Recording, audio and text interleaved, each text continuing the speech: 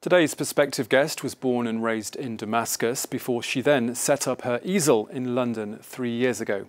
Sara Shamma has used various mediums in her career, ranging from ballpoint pen to gouache, to create a series of powerful portraits. Her latest exhibition, Modern Slavery, is currently on show at the Arcade at King's College London. She joins us now live from the uh, British capital. Uh, Sara, thank you so much for being with us here on uh, France 24. Uh, we have to, I think, begin with a question about the recent fighting which has broken out in uh, northern Syria with the Turkish offensive. What is your own take on that, what are you hoping for? I don't, I don't accept it at all, and I don't accept any country that uh, take uh, advantage from any other countries. And uh, this is too bad, and uh, I can't say anything else than that. Okay, let's move on now to your current solo exhibition in the UK, which of course examines uh, violence against women and slavery. Uh, talk us through, if you can, uh, what visitors uh, at King's College London can expect from the works on show. Uh, we are expecting all kinds of visitors, visitors who are in, uh, interested in arts and a lot of students and also visitors who are interested in the psychology and in humanitarian work as well.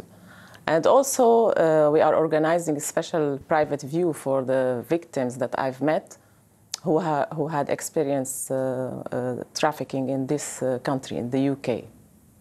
What is the main message from the, from the works that are on show? What are you trying to convey? Uh, I think uh, I would like to shed light on this subject, on modern slavery subject because it's a huge subject. It is affecting 40 million uh, people so far. And I don't think that there's enough uh, information about it. So hopefully, art will communicate with the viewers on a, a personal level to uh, deliver this uh, huge uh, fact. Now, talk us through, if you will, your painting style and just how you work, and how is it uh, how is it possible or how easy is it to paint what many would describe as being a, a rather painful subject? Uh, yeah, it's, uh, it's very, because I am very much interested in this subject, so it's easy to paint this kind of subject because it's something that uh, touched me a lot. And uh, in this exhibition, I didn't paint the women themselves. I just paint the feeling behind the stories that I've heard from these women because I've done a meeting with several women in the UK who has been experienced trafficking. Uh, and I've listened to their stories and I was inspired by everything they said. So I just painted the feeling behind it. And why did you decide to become an artist in the first place? What need does painting fulfill for you personally? Uh, it's part of me. It's something uh, I become artist naturally. I was very young when I started to paint, and I didn't choose to become artist. It just chosen me, and uh, I can't live without it at all. It's like eating, like breathing for me, art. Now, you were in your 30s when the uh, civil war broke out in your homeland in Syria. How has the conflict, if at all, changed you as an artist?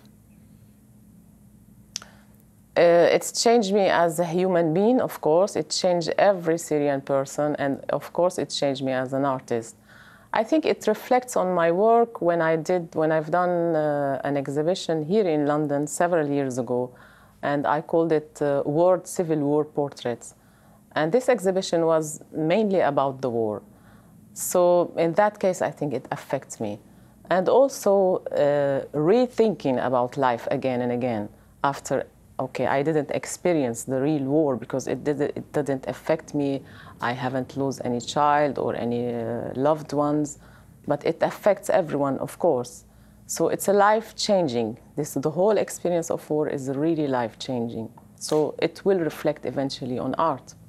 Now, here on France 24, we tend to talk about the war in Syria as having a, a massive civilian uh, toll on the, the population there. But just how badly has the art scene in Syria been affected by the conflict? Uh, when the conflict started, the art scene was really badly affected because many art galleries stopped, and a lot of artists uh, they uh, left the country, and also many of them they stayed in the country as well. A lot of my friends, but uh, a lot of artists they went to uh, Europe, to the Gulf area, to other Arab countries, and they continued their career there.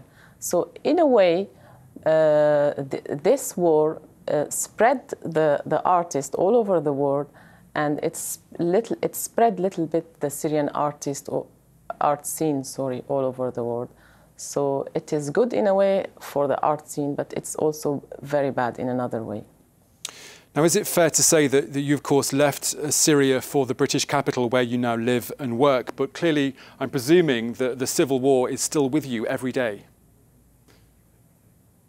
Yes, sure, of course. But I think now, hopefully, the war is uh, calming and it stopped. And I always go to Damascus since the war started. So I always go to Damascus every three or two months.